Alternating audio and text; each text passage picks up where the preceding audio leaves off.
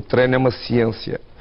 É uma ciência humana e é uma ciência de cada um. O treinador é um pouco parecido com um pintor. Uhum. É, e porquê? É porque o pintor, quando está a pintar, só Está a ele, criar. só ele é que vê, ele está a criar e só ele é que sente o que é que está a fazer. Como é que o Jorge vê a qualidade dos treinadores portugueses? Em termos muito legitano, penso que somos os treinadores mais evoluídos do mundo. Aprecia a forma de estar do José Mourinho no futebol? Aprecio.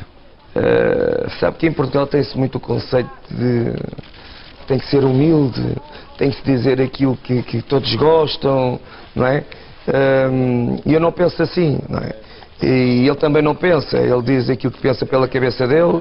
O Jorge entende que é fundamental controlar eh, o, o balneário, liderar o balneário. E como é que isso se faz? Para mim não é controlar só o balneário, para mim é controlar toda a estrutura eh, do futebol. Eh, toda a estrutura que envolve o futebol, não só os jogadores. Para mim é fundamental que tudo passe por mim.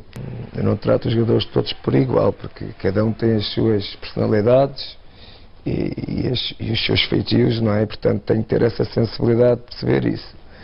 Eh, mas uma coisa é certa, também não sou um treinador que quer É um, treinador de, é um treinador de chicote? Não, não sou um treinador que quer aproximar. Estabeleço regras e aí sou, sou implacável. Quem não quiser eh, eh, perceber as regras que eu estabeleço, comigo não trabalha. Como é que valoriza o aspecto físico É no assim, futebol? eh, eh, no futebol não há condição física isolada. Isso, é tudo, isso não é subjetivo, isso não existe. No futebol, a qualidade tática do jogo é que vai de- de- determinar a condição física de uma equipa, ou pela positiva ou pela negativa. No ponto de vista defensivo, dou, dou muita importância a- a- às características físicas do jogador. É?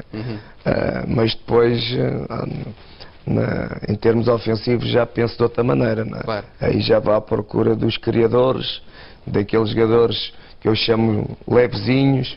Eu penso que isto aqui, eh, nós analisando os dois momentos do jogo, defensivo e ofensivamente, direi que defensivamente o treinador tem 60% da responsabilidade dos outros 40% é para os jogadores.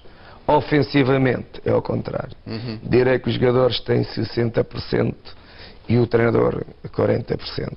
E quando tu não vês uma equipa, isto é o meu ponto de vista, quando tu não vês uma equipa a saber defender bem, penso que aqui eh, nota-se há ou não há o dedo do treinador. O Jorge Jesus sonha em ser o melhor treinador do mundo? Eu, para ser o melhor do mundo, tenho que ganhar as melhores competições do mundo, que é a Champions League, eh, que é os campeonatos onde eu tiver inserido, e como eu tenho a convicção que vou, que vou ganhar a Champions League, isso tenho a certeza que na minha carreira vou ganhar a Champions League, e depois aí, se calhar, estou mais perto de ser considerado um dos melhores treinadores do mundo.